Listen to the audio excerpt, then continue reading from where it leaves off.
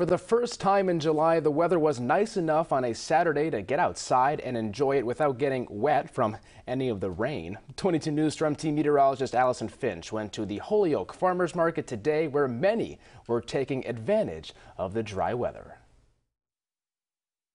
For the first half of the month of July, rain has soaked the entire region. This rain ruined a lot of crops and made fields turn into mud, preventing people from planting or gardening. It's hurt us. We don't have to water, but it's like, okay, we need some sun. Yeah. So we're blessed right now. The sun will help dry out the fields, allowing for more plants to be planted. With only a few clouds in the sky today, today made a perfect day to get out to the Holyoke Farmers Market. The dry, sunny, and not too hot of a day made people want to get outside and enjoy what the vendors had to offer. Farmers market just started at 11 a.m. and it seems like it's already bringing in more people this week than it has last week and the week before. Unfortunately, this nice dry weather won't be sticking around much longer. This is all the more reason to get outside and enjoy the day when you can. Working for you, Allison Finch, 22 News.